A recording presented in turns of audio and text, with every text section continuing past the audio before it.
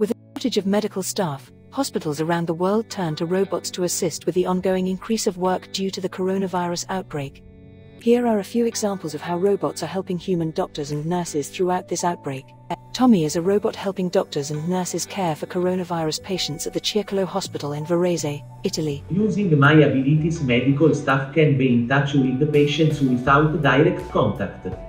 The robots monitor parameters from equipment in the room and allow patients to record messages and send them to staff and doctors. Risk of infection is uh, high, also with uh, protection. So uh, we, we, all the staff, doctor and nurses are happy because uh, um, robots can help in avoiding the risk of infection. Absolutely.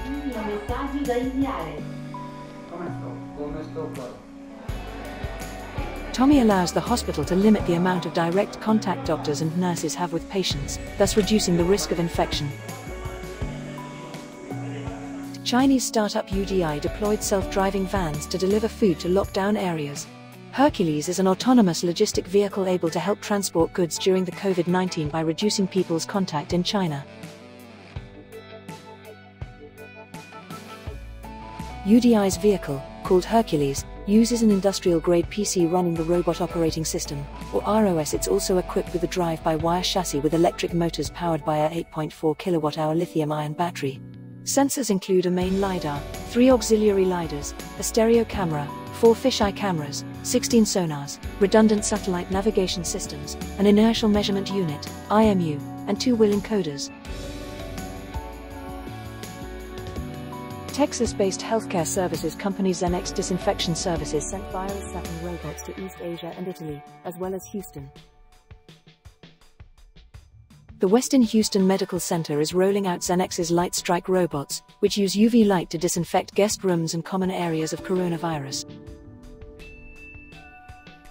The company says its robots can disinfect dozens of rooms per day per robot. CloudMinds donated robots to several medical facilities in China, including the Wuhan Wuchang Smart Field Hospital.